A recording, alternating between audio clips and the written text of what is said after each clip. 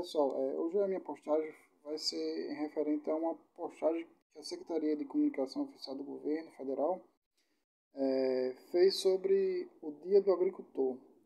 É, a imagem eu acredito que foi errônea. É, o Dia do Agricultor, enfim, um, um indivíduo postando, é, portando uma arma de fogo. E do meu ponto de vista foi um erro. É, o agricultor não tem essa, é, essa imagem de, de hostilidade. O agricultor posta, é, o agricultor é, manuseia enxada, manuseia tratores, manuseia implementos agrícolas e não arma.